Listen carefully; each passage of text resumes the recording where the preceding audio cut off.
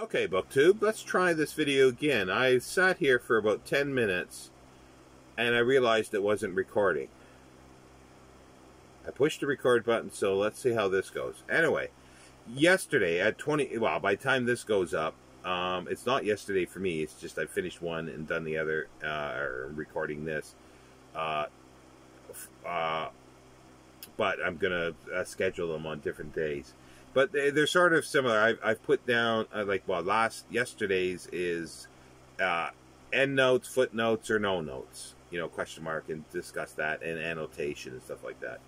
But also, I figured, well, I didn't, I didn't address in that one um, self annotation. I don't quite like calling it annotation, but putting your own notes in it. So I, but I am willing to accept that it is an annotation, but but again, I think it has to be qualified. It's not annotation like like you know that are printed in books that give you all this infor- extra information. You know, you might add stuff, but it it usually be personal information for you. So it's it's not sort of more for wider use. So to me, annotation is, but then again, it is a definition of the word. You're annotating it, so fine. I don't want uh, I don't want any hate. uh, but uh, but yeah, so it's sort of that, but also extending from that is writing in a book. Um, and this, again, this the thought for this it came out of uh, the endnotes one or footnotes or no notes, uh, but also it, the, the the germ of this sort of is is a culmination of a lot of videos about reading the perfect book and you know or the tag uh, the perfect book and all that kind of thing and also specifically a live that at the time I'm recording this was yesterday that Mark and I did. That the idea came up about, uh, you know, a few, not so much th- these ideas, but something came up that made me think of X, Y, and Z, which, you know, and then connected all these spurious dots uh, that are in the uh, uh BookTube universe uh, recently that I've been watching and uh, this one is sort of writing because um, again uh, memory is is faulty. Uh, somebody mentioned that looking for shakespeare they could never use they could never find a uh, one that wasn't highlighted uh, with highlighter underlined and pen or whatever. Just absolutely you know trash and the question is, do you write in your books and why? And is there any specific reasons? I'll go through sort of my thoughts on these, how I feel about it. Um, I always never did. I never write like writing a book. I never wrote my own name. I never put a uh, book plate in or anything like that. Um, I don't like generally writing in a book. Even somebody, uh, okay, a new book, and I mean something published in the last 40 or 50, say 50 years or 60 years, in my lifetime, I guess. That's why I'm thinking is, is new. Um, I don't like people's names in them, especially in pen. Pencil is fine because if I do decide to erase it, I can, or they could have. Uh, I don't really care for pen, but then a 150 year old book, it's really neat to see, you know, uh, given to so and so for a birthday gift, a Christmas gift, and, and, the year. And sometimes it's the same publication year, and sometimes there's a little loving inscription in it, which is which is really cool. And then later, like a hundred years after that, you'll get somebody else with another inscription in with the date, and sometimes this could be something like during the Second World War. Like I do have books like that, which I find interesting. Uh, but today I don't find it interesting. However, I am aware that in 150 years hence, these things will become interesting. But, and I understand that um, contradiction uh, that I have. Uh, but I do. And partially, the reason why uh, I think a big part of this is when people put their own names in it now, everybody's conscious about, oh, I don't want my name known. Hence, like on the internet, nobody, hardly anybody uses their their, their real name for their for their um, uh, screen name or channel name. Uh, you know, I've used my real name, but you know, and there are pitfalls for that, and I do understand that.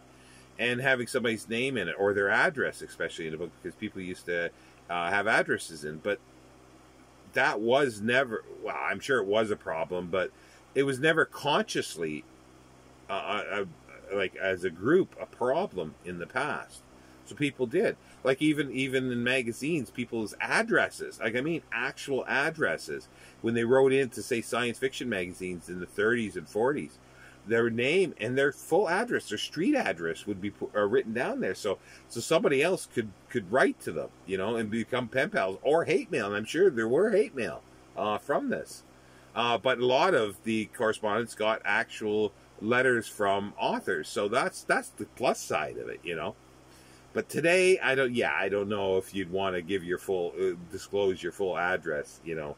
Uh, there, there, there can be a little more. Chances are to be more pitfall than than than good.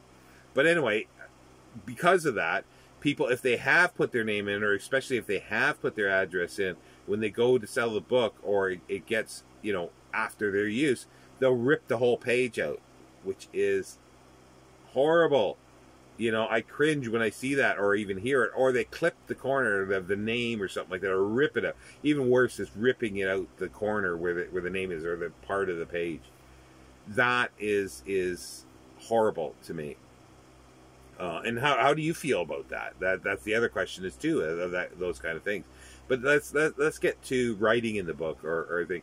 Like I say, I never did before, but since my um, illness, the heart attack and the COVID I don't know. Th- a lot of things had changed with me, as I guess they normally would. But this kind of thing has changed. I am willing, and I have done on occasion, written in a book or made a few notes on the side or my thoughts or, you know, underlined or um, circled something and put a line and then, and then a little note.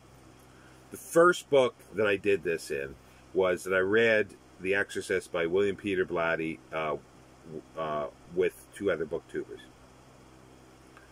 I won't get into whether I like the book or not. That's that's immaterial for this uh, discussion. Uh, but I, uh, the reason why I did this was there, there's two versions of it. There is the original version that he wrote. What is it, 1973? Am I, or maybe earlier. Anyway, the original version, and then 40 years later or 30 years later, he revised it. He made changes and he added a scene. So I, I had both, you know, I, I purposely searched out both editions, paperback. I read a chapter in the original and then reread that chapter in the um, in the um, in the revised edition. And mostly in the revised edition, I made the notes saying, "Oh, the, change this word from this. These lines are not in the original, or there's an additional line, and then I'd go back to the original and sort of circle that and say this is this is taken out of the second one, and then reference the page to that one and back and forth. That was sort of so we could discuss this, because I was the one that was doing this, and I in our Voxer group, I was I was going through these these differences, not into minutia, but I would say you know if there was few words changed, but if you know, it didn't make any any um, change in the meaning. I just said that you know he changed several things here, minor change, didn't change anything, but when it did change the meaning or the potential for the interpretation, I would I would talk about that so I could flip back and forth. But yeah, so that's that's what I did with that, and it started with uh, my reread of uh, of Walden. Walden um, was the first after illness and everything was the first nonfiction book that I had uh, attempted because of brain fog and stuff. And this is something I don't understand. I still to this day I'm having difficulty, and this is a year and more than a year and a half after COVID. Uh, with my long COVID, I'm still having trouble with nonfiction. But anyway, uh, I I can do it better than I did before, uh, but it was it's slow but I decided to read because another booktuber was reading um, a Walden. I thought, yeah, I got I got a copy here. I bought it the year before. I wanted to reread that, so I figured, well, I know that's an easy read. You know, there's nothing difficult in the language. I might be able to do this, and I did, but it was slow. It was slow going. But I wished I actually had because I had made that conscious decision to actually uh, write in it because when I originally uh, read Walden, I didn't like it. I didn't like it at all. Uh, I didn't like the philosophy in it and everything like that. But then I spoke to somebody else. This maybe it was fairly close to the time I, I originally read it, maybe within a couple years. Somebody said, "Oh, but didn't you see this?" And I go, "No, I don't remember that," because everything else that I disliked overshadowed everything else. So I promptly reread it, and I sort of didn't pay too much attention to the philosophical parts, which I didn't like, and I concentrated on the parts that I did, like his descriptions of the wildlife or you know fauna, uh, or I should say flora more more than fauna, uh, and then him digging in his garden, finding arrowheads and stuff like that. I really really liked, and I liked the way he wrote that. I really really did. So hence, uh, rereading it the second time, I've read it several times since. So I'd wished when I was rereading it last year, I had a pencil. I didn't have a pencil. I had a pen, but I refused to do it in pen. I wanted to, you know, put a little X up in the top corner of the page, possibly bookmarks. Uh, I started putting some bookmarks in, but it just got too, too, too much. Maybe those little tabs might might work better. I don't have any, but that might be the thing. But I but I would underline or put an X, like a big X in the in the uh, in the margin of where this is and where it starts, like a circle and then a circle at the end, or sometimes a little uh, a little. No, I wanted to do that. Uh, so then that I would, you know, if I do get the yen, I can pick it up, flip through, and read a section that re- I really like, and I get a lot out of it, and it makes me feel good. Uh, so that's what I wanted to do, but I didn't do that, and I did it for a book that I probably will not reread again uh, which is uh, The Exorcist. Oh well. But yeah, but the, the question, I guess, really is that I'm leading up to this. Do you write in your book, uh, books? Um, if so, what do you use? Will you use? A, will you highlight it?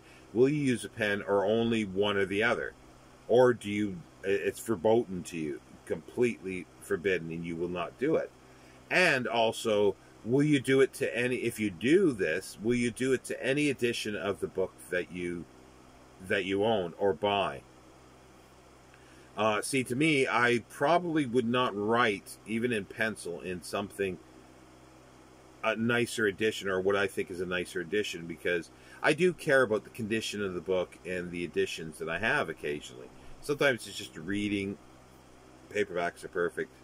Um, I still haven't got to the aspect of of ebooks to you can put notes in uh, and stuff like that because when I'm reading in in, in the uh, it's just it's too time consuming for me.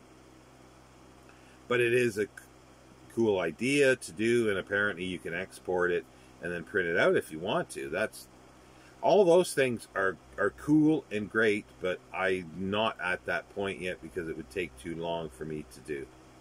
Um, but so, but if that's the case, uh, and it's only the ebooks you do, is it for that reason because you don't want to do it anywhere else? Perfectly fine and understandable. Uh, but yeah, but I, would like to know your answers uh, because, as I say, I, I I'm very conscious of where I would do this and how much I would do and how I do it now. Uh, but yeah, that's that's sort of it uh, for for this. It's sort of how to. I guess I could end on like sort of condition uh, as well. I'm I'm curious to know what people uh, feel because I've had I've had I've known people in the past that they'll look at your books, and if the spines are not all creased and you know the book is basically not trashed, they won't nothing nothing to do with you because uh, because they don't think you've read the books. Because you in their mind it was that you only read the book when it's when it's trashed. And there's the thing oh it's been it's it's been lovingly read. Don't give me that.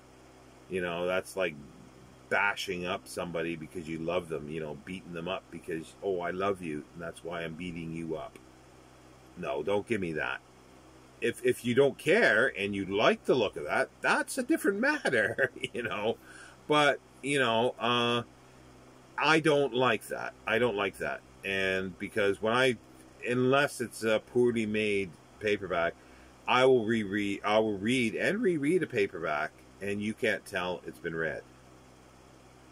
I know it's been read, and sometimes you can tell on the front page edges because the ink or whatever, the oils on your finger, you know, or dust. Um, you know, you can see a little grayness on the on the on the. Um, there's a book here, like on the page, you can see a little grayness there because you're you're opening up and you're holding it like this all the time with your thumb there or finger. Um, and sometimes that can be seen. It depends on how well the book has been made. And again, do you uh, like? I guess you know I can understand people not taking too much care of paperbacks because uh, mine do get damaged occasionally, or have in the past because I've taken it on the bus or different places. And when you're shoving, you quickly have to shove it into your bag or something like that, and stuff does get damaged. Uh, I try not to, but sometimes it does. So, is it sort of uh, like, do you not care about how the condition is? Of any book that you've got. So you pay fifty dollars or twenty dollars for hardcover, and you you treat it the same way uh, as as the paperback, or you will only you know potentially do that with the paperback and keep the hardcovers, uh, you know, pristine sort of condition or whatever, and read the read them very carefully. Um, I, I'm just curious at, at, how people, and I'm sure that this that actually could be a whole different. Uh, uh, video, but I'm, I'm including it here because I, am not going to make three of this, so I just tack it on here. Because to me, the, the condition and, and, the writing uh, for the condition uh, is is a part of what I would call the condition of the book, if there's writing in it. So yeah, so it, it's that type of thing, and uh, um, yeah, um, I think I'll end it there. It's a little shorter than the other one, so. Uh, again, just to reiterate, uh, do you you write, annotate, make notes, whatever you want to call it, underline uh, in your books? And are there any specific editions of books that are, are forbidden, or do you do it to all, or do you do it to none? And if you do do it, if you do do it, it always sounds funny. Uh, but anyway, uh, if you do write in them, uh, do you will you use alternately pencil, pen, highlighter? Um, or even, I guess, with those tabs, you know, you could write, I guess, potentially things on tabs that you put in. Do you prefer to do that so you can take them off? I always a little hesitant of those. I might start using them, but if I can get some, but I just don't like the idea of the glue on on the paper because it might rip the paper or discolor it uh, after time. So I don't know, but that's that's an aside. Uh, are, are all the above, or only one? Like you know, uh, are you like me? That you only do it certain editions and in lightly in pencil. So you can erase it if you want to, or when it goes on, uh, which it eventually will, unless you destroy the book completely, your books will eventually go on to somebody else. And do you think that they should know that this is what you did? Do they, will they care what you did? Uh, you know, uh, the writing in it. Some people like getting a book and seeing other people's annotations in it and their notes. I particularly don't. I could care less, unless it's somebody I, I, I, I knew. It has to be a personal connection, or a writer. Say, for instance, like I mentioned uh, Virginia Woolf several times in the previous video. If you picked up a book uh, that she had read and she annotated, well, that's a different matter. you know, or any writer like that. You know, um, it, it's fine. Or again, and I'll risk the urge of everybody stopping listening to the video here, is Louise Brooks. And I've said this over and over that when she lived in Rochester, she got library books, memoirs of actors and actresses, and about Hollywood, and she ma- she wrote in them. I don't know whether they were pencil or pen. Chances are they were pen, uh, because the library would have erased them, I suppose, if if it was pencil. But she would write, you know, saying, "Oh, that's BS," you know, that's not true, and stuff like that. See, that to me would be interesting. It may not be interesting to somebody else who doesn't care about Louise Brooks, but regardless, if it's somebody like that that that is of a personality like that, and it could be a cult of personality. I don't know. I don't want to get into all that kind of thing, but it could be that. But to me, that's more interesting because I am interested in that person uh, just the you know person out on you know just a random person in a reader in the in the world I'm not particularly interested in getting a book with those with those in. I'm more interested if you know I I met that person and tell me what you think about it. I don't want to read your thoughts later on. I want you to tell me what it, what your thoughts are of it. Um, just little subtlety differences there. But anyway, I'll end it there at 20 minutes. And uh, yeah, do, you know, as I said before, do write your essays down in the bottom and tell me uh, what what your um, uh, you know thoughts are on these subjects about writing or annotating in books and why and why you do it or why you don't. I, am curious. Anywhere, any, anywhere, and anyway, thank you, BookTube, and I'll see you next time.